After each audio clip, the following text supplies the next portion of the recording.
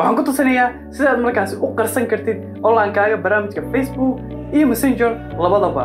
Xataa adiga oo ku jira oo isticmaalaya.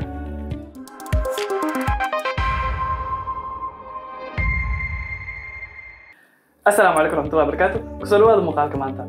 Dabcan waxaan dooda ognahay in qof walba marka aad facebook ku jirto uu ogaan karo inaad online tahay xilliga kuugu dambeysay inaad online noqotay oo markaasi aad ka baxday iyo wixii la mid ah sidaa darteed waxaan rabaa inaan markaasi muuqaalkan kugu tusiyo habka aad u qarsan karto onlinekaaga. Haddii aad isticmaalaysa facebook iyo messenger labadaba. Sidoo kale inaad markaasi xilligaad rabtana aad soo muuqan karto xilliga aad rabtana aad qarsan karto. Dabcan in aad sidaas ka dhigatana aad ayay u fududdahay waxayna ka caawin doontaa marka aadan rabin in onlinekaaga la arko inaad si fudud qarsan karto. Marka aad rabtidna aad sidaada u soo muuqato. Tillaabooyinkan fudud aan kuu sheegi doonaa haddii aan u guda galno waxaan ka bilaabaynaa messenger. Markaad messenger soo furtid waxaad taabanaysaa halka uu sawirkaaga ku dheggan yahay. Qaybta kore waxaad ku arki kartaa halkan ay ku qoran tahay active status. Halkan ku dhufo waxaa halkan ku sii jiro laba option oo kala duwan. Midka koowaade waa midka oggolaanaya dadka kale inay onlinekaaga arkaan markaad messenger ku jirtid keliya qaybtan markaan isku dayno inaan xirno waxaa inoo soo baxayo farriintan yar oo kuu sheegaysa you will also be unable to see when friends are active or isn't active waxaad dooranaysaa tan off si aad u noqotid offline messengerka keliya midka labaade waa qofka marka aad wada sheekaysanaysaan oo markaas wada sheekaysiga qofkaas gudihiisa ku jirto inuu onlinekaaga arki karo.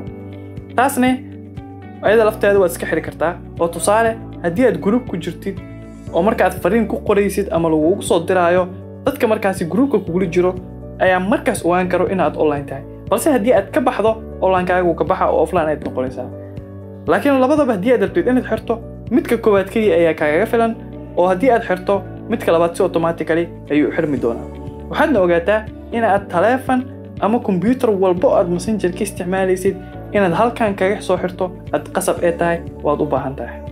Hadda waxaad offline ka tahay barnaamijka messenger keliya oo haddii aad facebook soo geshid automatically online ayaad noqon doontaa haddaba aan ku tusiyo si aad facebook asagana laftiisa aad offline ugu noqon lahayd oo haddii aad labada barnaamij isticmaalaysabo aad markaas u soo muuqan karin inaad online tahay.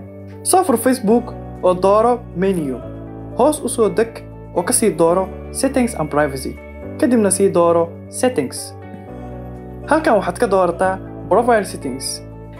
Kadibna qaybtan hoose midka ugu hooseeya waxaa ku qoran active status qaybtan markaan isku dayno inaan xirno waxaa kuu soo baxayo farriintan yar oo kuu sheegaysa inaadan hadda kadib ogaan karin qofka actifeka ah. Dooratan off si aad markaasi facebookna ugu noqotid offline.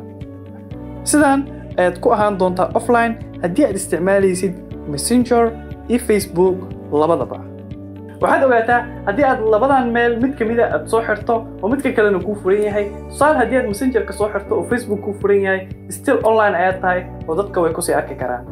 Sida la mid ah haddii aad taleefankan aad isticmaalaysid labadaba ka soo wada xirto oo aad offline ahayd oo facebook account-kaaga markaasi ama combyuutar kale ama taleefon kale markaas aad leedahay adiga aad ka furato waxaad ku qasbantahay inaad halkan ku soo laabato oo labada meel baad offline ka dhigto.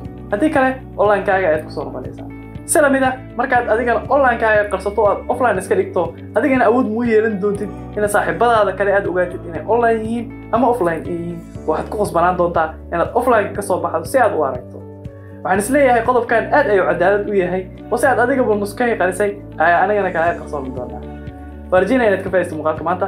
Fadlan ha ilaawin inaad la sii wadaagto saaxiibadaada si macluumadaan ay idan dad badan u gaarto oo qof walba ugu faa'iidaysan karo anigu kaa imaan celinaya waqtiga qiimaha badan inaad ku bixiso daawashada muuqaalkan waa inoo muuqaalka xiga insha allah mahadsanid